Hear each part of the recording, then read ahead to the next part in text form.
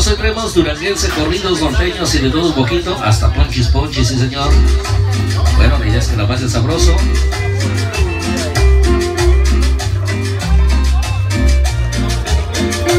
Y bueno, pues en esta ocasión vamos a trabajar suavecito, ya que luego nos echan a ver bien temprano, ¿verdad?